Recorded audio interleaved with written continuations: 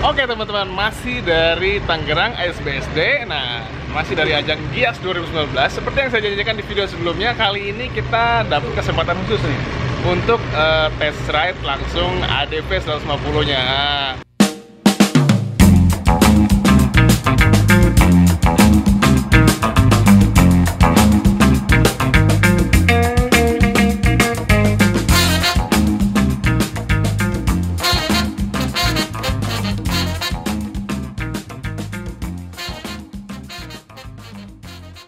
akan coba test ride.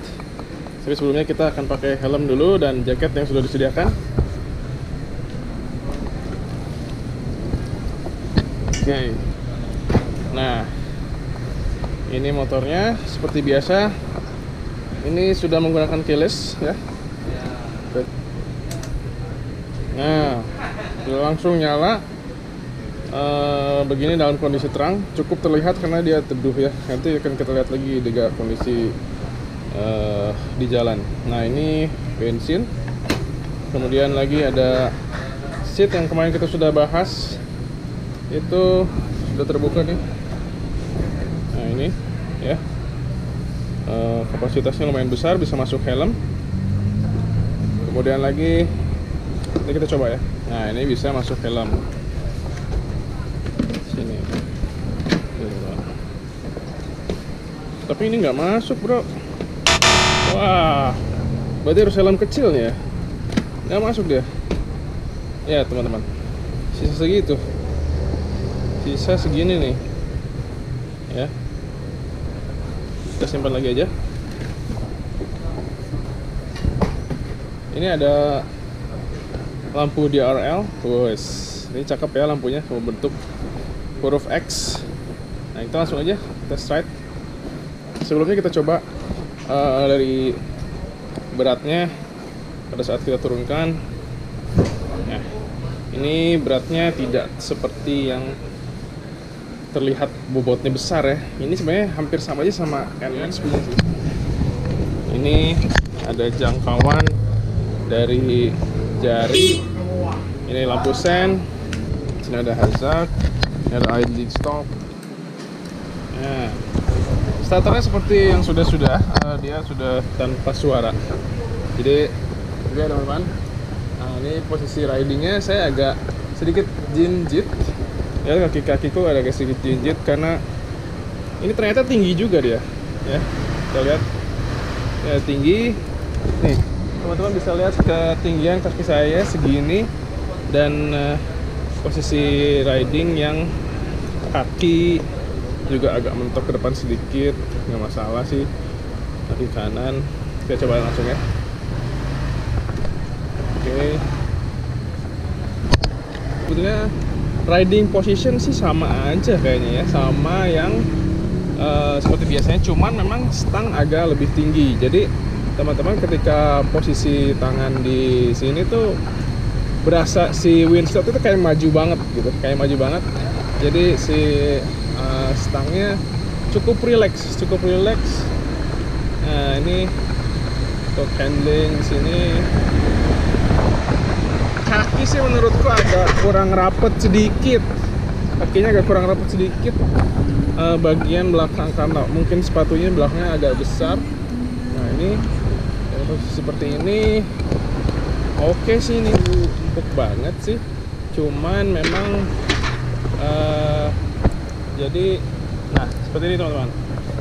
Ini teman-teman lihat uh, jarak kaki ya.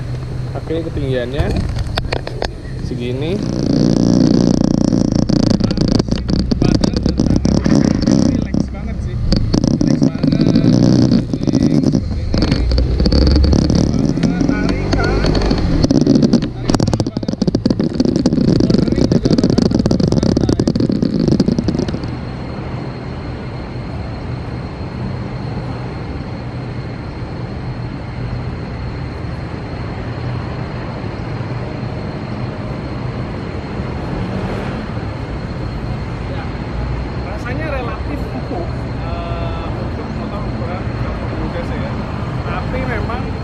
lebih cenderung ke keras sehingga pada saat di melibas belokan dia akan lebih stabil teman-teman.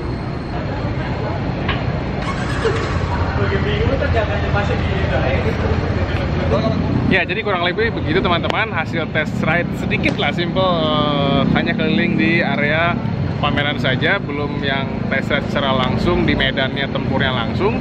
Memang untuk kesan pertama motor ini benar-benar uh, relax bawahnya jadi posisi stang uh, benar-benar lebar dan tinggi seperti motor-motor adventure pada umumnya cuman dengan skala yang kecil. Nah memang untuk uh, ukuran matic uh, se untuk matic harian agak sedikit lebih besar untuk saya tapi uh, ini masih oke okay banget sehingga bakal uh, tetap mudah dikendarai tapi gaya anda tetap maksimal.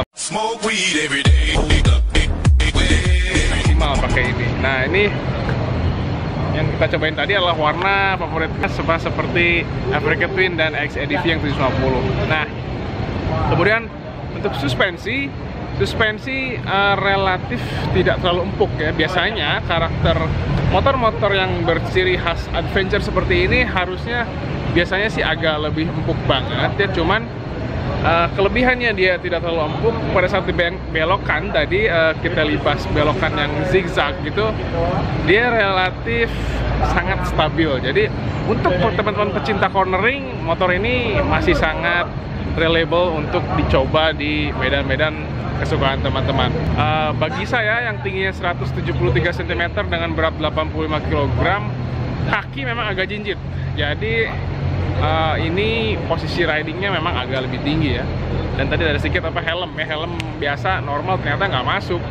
Sayang banget ya. Jadi kalau untuk mesin sih 150 stand Honda lah pada saat digeber tuh suara tarikan masih sama seperti Honda-Honda yang sebelumnya gitu teman-teman ya mungkin segitu aja sih review untuk uh, EDV 150 nya karena uh, mudah-mudahan nanti ke depannya kita akan dapat kesempatan mereview di medannya langsung untuk uh, mengetes ketangguhan dia seperti apa ya. Oke? Okay? oke okay, mungkin segitu dulu. Sampai jumpa lagi. Jangan lupa follow instagram subscribe dan like juga komen. Jangan lupa berkarya lanjutkan hobi